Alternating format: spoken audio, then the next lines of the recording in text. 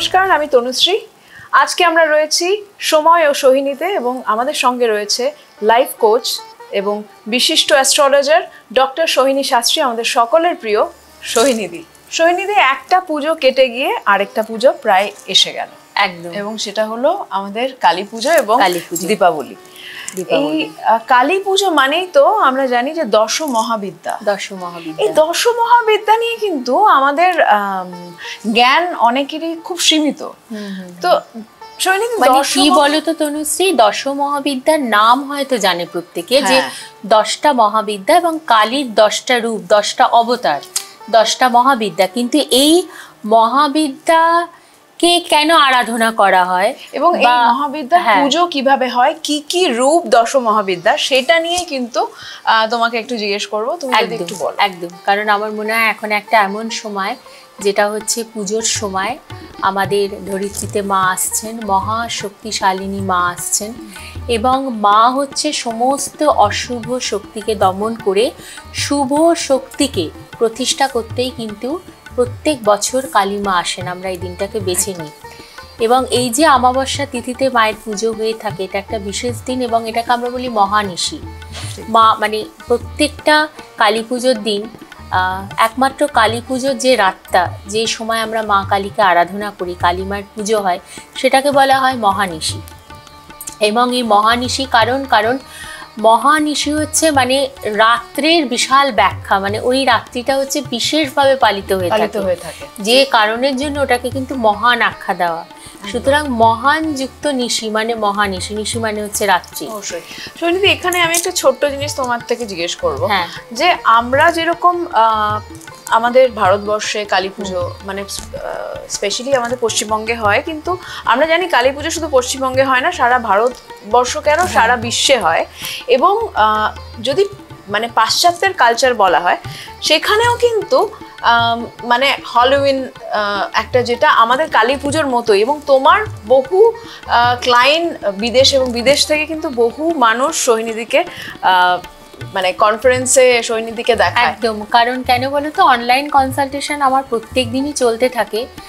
সত্যি কথা বলতে বহু মানুষ যারা বিদেশে থাকেন তারা আমার থেকে অনলাইন কনসালটেশন নেয় অনলাইন থ্রুতে কারণ মানে অত দূর থেকে তো সব সময় আসা সম্ভব হয় না। সুতরাং তাদের সঙ্গে হয়তো বহু বছর আমার অনলাইনেই খুব সুন্দর সম্পর্ক। তারপরে যখন তারা ভারতবর্ষে আসছে তখন হয়তো আমার সঙ্গে তাদের দেখা হয়েছে। যদিও এখন আমি রিসেন্টলি তো দুবাই লন্ডনে চেম্বার করছি যাওয়া আসা এবং হ্যাঁ। আমাদের হ্যাঁ, এই প্রোগ্রামের মাধ্যমে হ্যাঁ। সময় ও সোহিনীতে সময়ও সইনি আসলে অনেক দিনের বহু মানুষের রিকোয়েস্ট ছিল যে অ্যাস্ট্রোলজি সাবজেক্টটা দিদি আপনি খুব সুন্দরভাবে ব্যাখ্যা করেন এবং এই সাবজেক্টটা সম্বন্ধে আমরা আরও কিছু জানতে চাইছি। তো অবভিয়াসলি আমার মনে হয় প্রোগ্রামের মাধ্যমে যার জন্যই একদম যার জন্যই সময় সহিনীতে আমি এবং তুমি আছি। তো এবার ঘটনাটা হচ্ছে যে আজকে যেহেতু কালী পুজো এসে যাচ্ছে একটা বিশেষ দিন। এবং আজকে যেটা পর্ব আমাদের মেন আলোচনার পর্ব হচ্ছে দশ মহাবিদ্যা এবং দশ মহাবিদ্যা হচ্ছে যে অ্যাকচুয়ালি দশ মহাবিদ্যার মধ্যে নটা মহাবিদ্যা হচ্ছে কিন্তু নটা গ্রহ তাদের মহাবিদ্যা। আচ্ছা। যেমন আমি যদি নটা গ্রহ হিসাবে ধরি তাহলে আমি বলব যে রবির মহাবিদ্যা হচ্ছেন কিন্তু মাতঙ্গী। আচ্ছা। চন্দ্রের মহাবিদ্যা হচ্ছেন কমলা। আচ্ছা। মঙ্গলের মহাবিদ্যা হচ্ছেন বগলামুখী।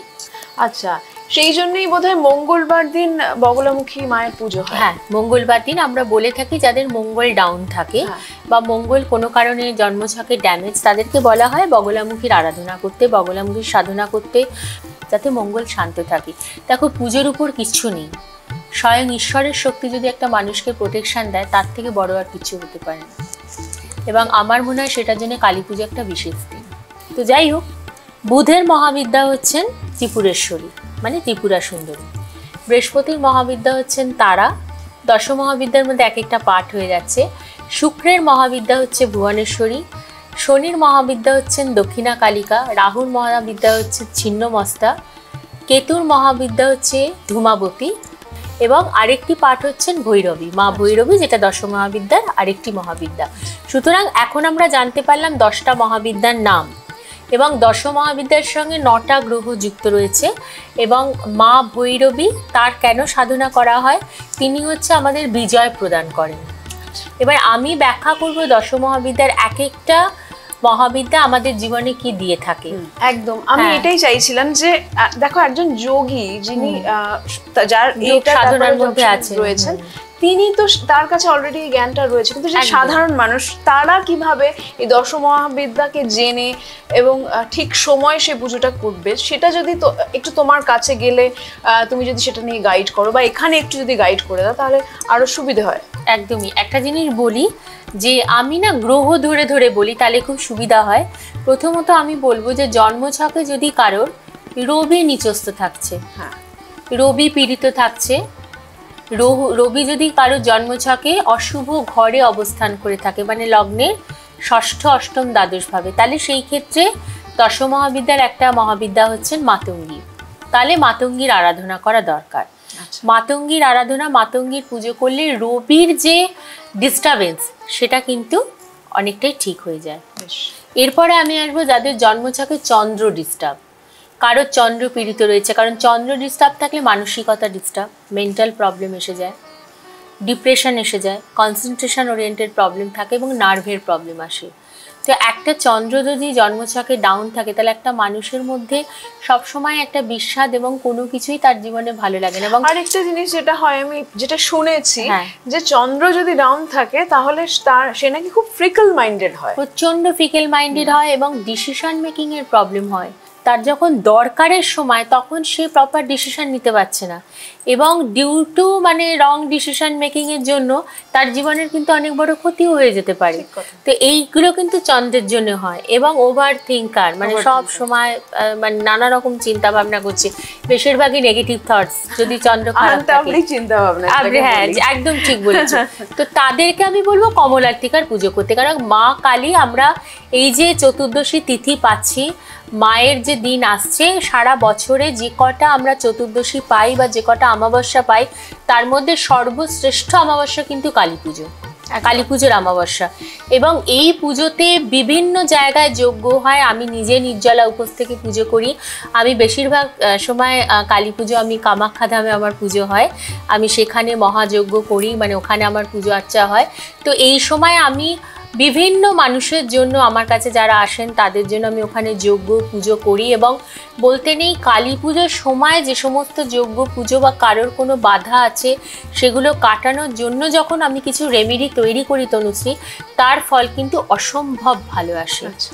আজ পর্যন্ত কখনো হয়নি যে কোনো মানুষ এসে বলেছে দিদি আপনি আমার কালী পুজোর সময় পুজো করে রেমেডি দিয়েছিলেন আমার রেজাল্ট আসেনি তো এটা বলব যে আমার কৃতিত্ব না এটা হচ্ছে কালী মায়ের ব্লেসিংস কালী মায়ের আশীর্বাদ। অবশ্যই। তো যাই হোক এই দিনটা একটা বিশেষ দিন এবং এই দিনে আমার মনে হয় যে মানুষের জীবনের সমস্ত বাধা বিপত্তি থেকে মুক্তি পেতে যদি দশমহাবিদ্যার সাধনা করা যায় তাহলে ভীষণই ভালো। এবার আজকে আমি কেন দশমহাবিদ্যার এক একটা পাঠ ধরে বলছি গ্রহ হিসাবে? কারণ সাধারণ মানুষ আপনারা কিন্তু জানেন না যে আপনি জানেন যে আমার জন্মছকে চন্দ্র ডিস্টার্ব তাহলে আমি কি করব? না চন্দ্রের জন্য কমলাত্মিকার সাধনা করুন। মা কমলাত্মিকা মা কমলা তার সাধনা করুন। কালী পুজোর দিন তার পুজো করুন। তাকে কালী মাকে কমলাত্মিকা রূপে কল্পনা করে তার পুজো করুন। একদম এই গাইডলাইন এই তাতে কিন্তু চন্দ্রে চন্দ্র শান্তি হয় এবং অনেক বেটার রেজাল্ট আসে। একদম। এরপর আমি আসব মঙ্গল যাদের খারাপ যাদের মাঙ্গলিক দোষ রয়েছে। মঙ্গল খারাপ থাকলে বিবাহিত জীবনের প্রবলেম থাকে।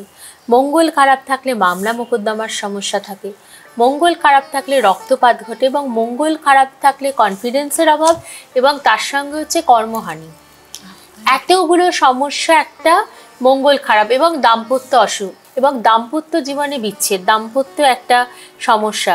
তো সেটার জন্য আমি বলব যে কালী পুজোর রাত্রেই আপনারা মা বগলামুখীর সাধনা করুন মা বগলামুখীর পুজো করুন দেখবেন খুব ভালো ফল পাবেন। এরপর আসব হচ্ছে বুধের। যাদের জন্মছকে বুধের problem decision মেকিংয়ে problem concentration problem memory weak এবং পড়াশোনার ক্ষেত্রে প্রচণ্ড বাধা। তাদের জন্য আমি বলব মা ত্রিপুরা সুন্দরীর আরাধনা করুন কালী পুজোর দিন। এটা কিন্তু দশ মহাবিদ্যার একটি পাঠ এবং আপনারা এই মহাবিদ্যার আরাধনা যদি কালী পুজোর দিন করতে পারেন আশা করি আপনার সন্তান পড়াশোনা করতে চাইছে না খারাপ রেজাল্ট আসছে তাদের কিন্তু ভালো রেজাল্ট আসবে। ত্রিপুরাশ্বরী যজ্ঞ ত্রিপুরেশ্বরীর পুজো ভীষণ ভালো ফলদান করে।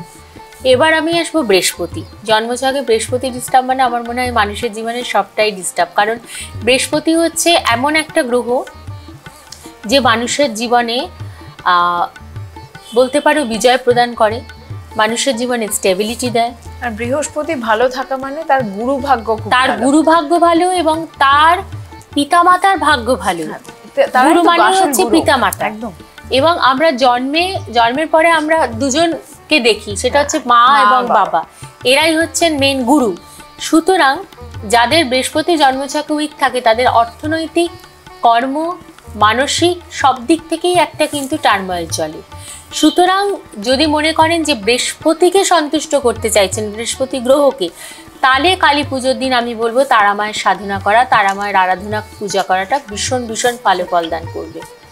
শুক্র, যদি কারোর জন্মচাকে শুক্র ডিস্টার্ব থাকে, প্রথমত শুক্র ডিস্টার্ব থাকলে মেন্টালি প্রবলেম রিলেশনশিপে প্রবলেম দাম্পত্য সুখহানি এবং সন্তান সুখহানি সুতরাং শুক্রকে সন্তুষ্ট করতে আমি বলব কালী পুজোর দিন দশ মহাবিদ্যার একটি পাঠ সেটা হচ্ছে মাতা ভুবনেশ্বরী।